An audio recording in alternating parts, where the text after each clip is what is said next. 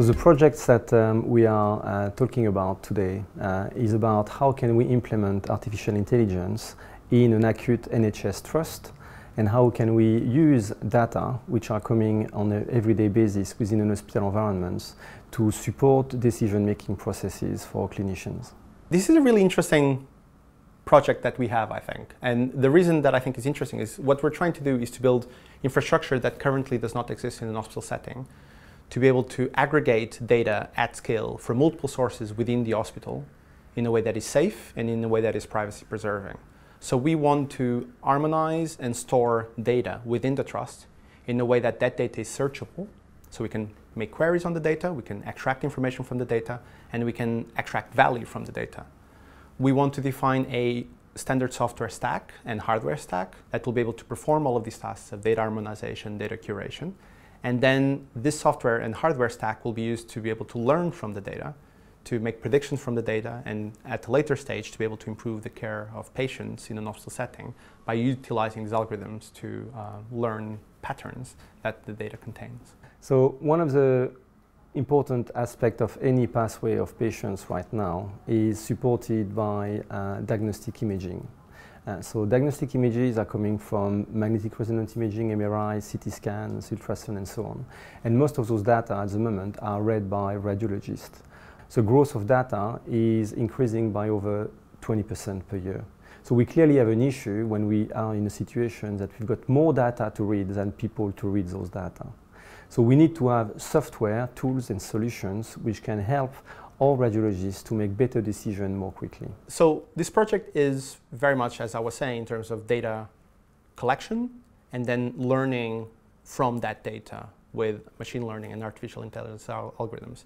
And if you think about the hardware stack that is necessary for that, the three main components are, one of them is compute, ability to process data very fast, which in this case uses GPUs. And for that, our partner, which is the obvious one, is NVIDIA. Uh, then there is another big component, which is the storage. Medical data is very large and very complex.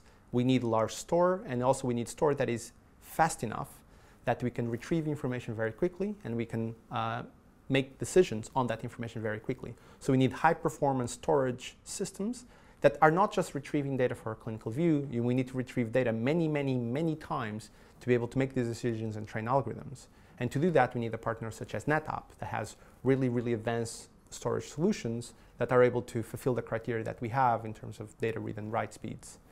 And the piece of technology that links all of these things together obviously is switching technology. And that's where Mellanox comes in. Obviously, they are state-of-the-art providers of, uh, of switching infrastructure. And SCAN is really the glue that brings all of these partners together uh, and SCAN's expertise in terms of how do we do this at scale and how do we manage this infrastructure to make it resilient enough and to architect it in a way that is safe and that is resilient. How do we bring these three partners together to create something that is really unique in an hospital setting? To make a project of this scale happen, uh, it needs infrastructure from many, many different partners, many different skill sets. And one thing that I feel very proud about is being able to have pulled all these partners together. It was almost like a, a, a combined effect and uh, it was that one effect that once all the parties actually got together, there was a great synergy that started to happen. And it feels as if now what we've created is an ecosystem of all the right partnerships uh, to get involved.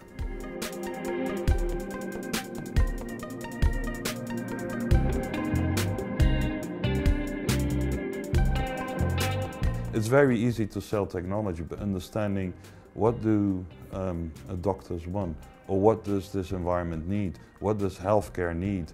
Understanding that, understanding the regulation around it, how do I work it through is very important and SCAN understands that. Uh, we're, we're delivering a DGX2, which is a supercomputer and AI to do very powerful deep learning uh, uh, models, and which is necessary because it's quite compute intense um, um, to uh, run uh, images uh, in, in, in an environment.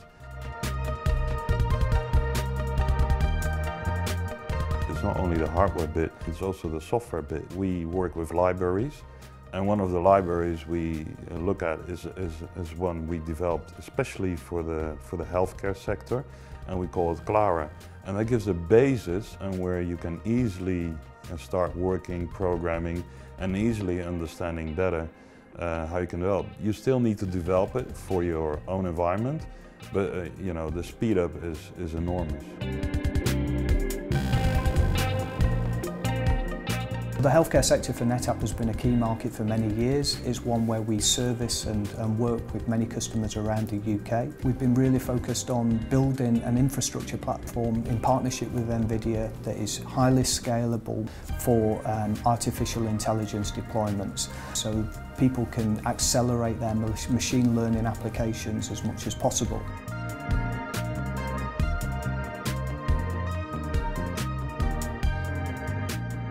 At some point, uh, Scan decided that it's not enough. The network cannot keep up with the huge amounts of data, and they moved to Mellanox networking. And since then, it's been working pretty well. We have an uh, end-to-end solution which makes everything pretty simple, and we love this collaboration with Scan. We're dealing with a lot of data.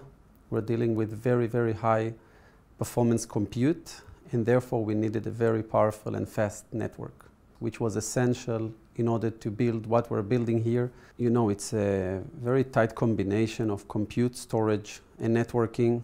Um, with NVIDIA and NetApp, we have been working for a long time, and our products are well integrated with their products. Uh, Scan is an expert in what they are doing. They know exactly how to build this uh, pretty complex uh, system. And in order for everything to work well together, we need to work well as a team, and it's been super successful so far, so we're very grateful for this. So research, medical advances, and you, you take a look at the, the, the, economy, you take a look at one of our, you know, uh, the country's prized possessions, which is the NHS. It's all done for the right reasons, which ultimately is about, you know, giving and delivering better, better care through operational efficiencies, through early detection, So I feel very privileged uh, to have SCAN part of such an important project. But if you break down such a challenge into smaller, more manageable steps, it seems very achievable.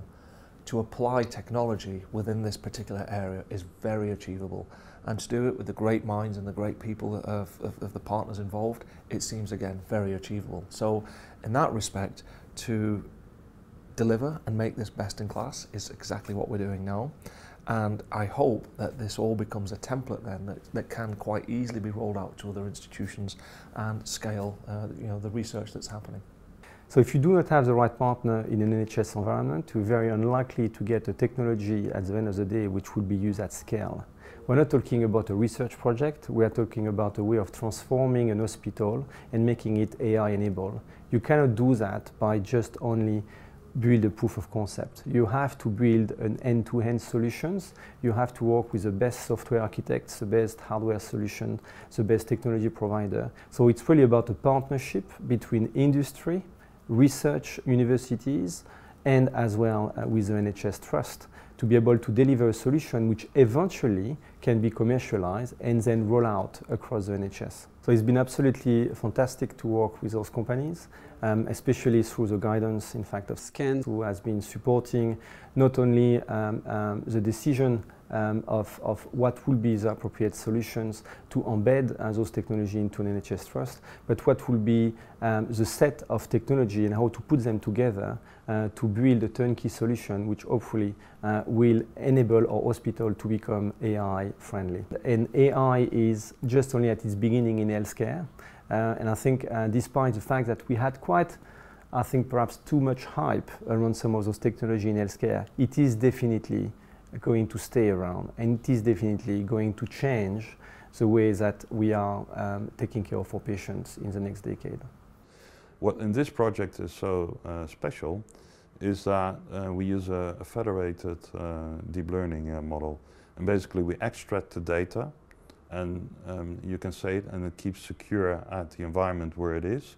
So we, we keep that in mind. We extract the data, use it and put it back, in short to say so, yeah? But the data stays secure in the environment where it is. That is very important because that, um, that means that you are able to work according to the regulations of what is necessary. I think the moment, um, and, and this is very special here, uh, you have in a mind where research and, and the real commercial world work very uh, close uh, together. The moment they, they will see the advantage And, and that's what's happening here. And you see how it helps you in creating um, a better environment uh, for patients and curing patients in an earlier stage. The moment people will see that, it, it, will take off. And we're just at the beginning, and I feel that uh, in a couple of years uh, long, when people see what the results are, uh, everybody will get on it. Where are we going next? There's one part which I can't underestimate, and it's never really discussed on, on typical interviews, and that's not the technology, but there's another element, which is a want to do it, a risk, a passion. And that's one key factor that I would class as our catalyst. And that there is such a passion and motive to actually want to do this that you end up taking risk. You end up doing all of these things. But it's that passion that actually gets infectious with the partners that we're working with, and everyone feeds off on it. And all of a sudden, all the IP, all of the technology, all of the services that we need start getting unlocked to start delivering the solution. But the solution that we've created is modular in that we can apply it to different industries, different segments. So where I see the future, it's difficult. Um, I'd love to, you know, uh, have this and, and reflect back on it in five years' time to see how accurate this is. But what's what's amazing about it is I think the future uh, of, of analysing data rather than calling it AI or data analytics, even call it assistive intelligence, is such that individuals, businesses are going to start to realise the value that's locked in, the digital trail that we all leave behind. I think regulation will catch up uh, via GDPR getting you know more and more enhanced. And once that happens, it's all to do with processing and analytics. The fact that data can be mined and processed, it's a new form of energy.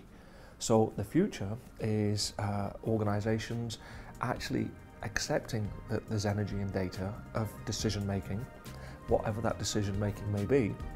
And it's through unlocking that potential that the, the data driven approach uh, will be functions within a traditional business. And I think that's where the future will be.